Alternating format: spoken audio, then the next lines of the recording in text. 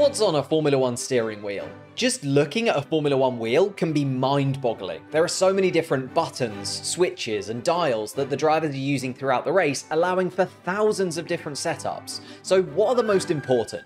Top left of the steering wheel is the DRS button, which allows the driver to open the rear wing of the car. Alongside that is a plus 10 button that allows the driver to see each sensor on the car, and an N button which places the car's gearbox in neutral, as well as a dial for the brake balance. Under the screen are three rotaries. The leftmost one allows the driver to select which mode the power unit is in and the performance they'll receive.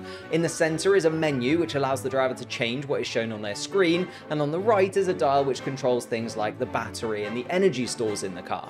On the right hand side of the wheel is where you'll find things like the radio, allowing the driver to communicate with their team, the pit confirm button to make sure the crew is out and ready, as well as the pit lane limiter so they don't run them over.